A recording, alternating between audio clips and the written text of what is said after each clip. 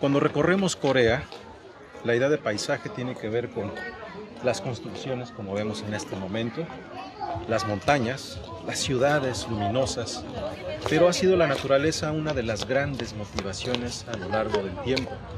Vamos a compartir con ustedes algunos de los momentos más representativos de la pintura antigua de Corea, que ha sido inspirada por la naturaleza y por los animales.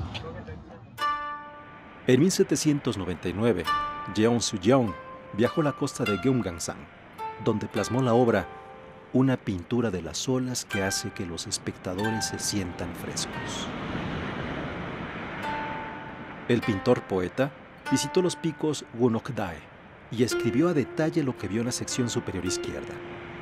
Olas ásperas chocan contra las rocas, espuma blanca forma entre el filo de las pequeñas garras.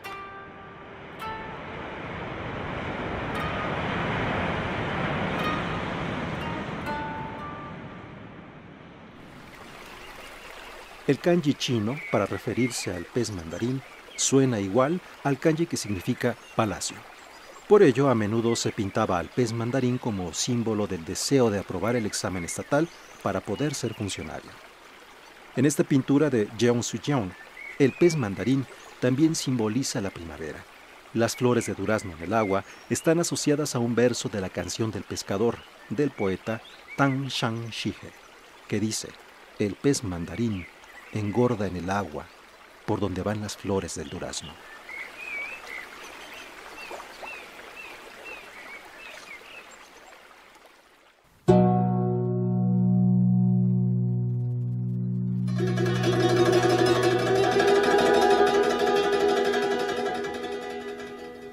En el siglo II a.C., un enviado chino llamado Shang Qiang trajo semillas de uva desde un área que hoy es Uzbekistán.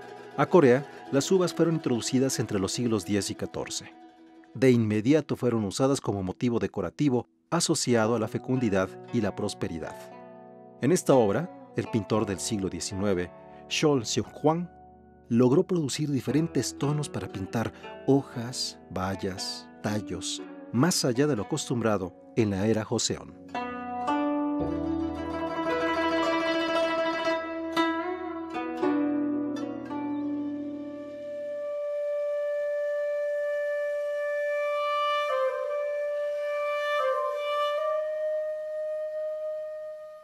El bambú es otro de los grandes motivos de la pintura coreana, en donde los artistas se preocupaban de los pequeños detalles para hacer grandes diferencias.